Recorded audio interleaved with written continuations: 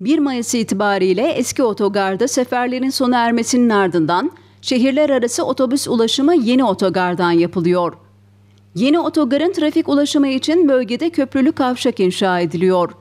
Çünür Mahallesi'ndeki yeni otogarın trafik akışına düzene sokacak olan köprülü kavşak projesi için yapılan ihalenin ardından yüklenici firma çalışmalara hızlı başladı.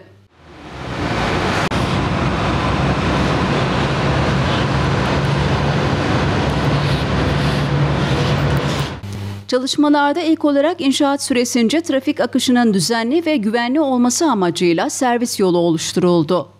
Oluşturulan servis yolu asfaltlanarak hazır hale getirildi. Bu çalışmanın ardından köprülü kavşak inşaatı başladı.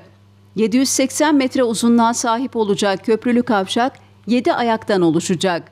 3 gidiş ve 3 geliş olmak üzere toplam 6 şerit olarak planlanan köprülü kavşağın inşaat çalışmalarında köprü ayakları için fore kazık çalışmaları gerçekleştiriliyor.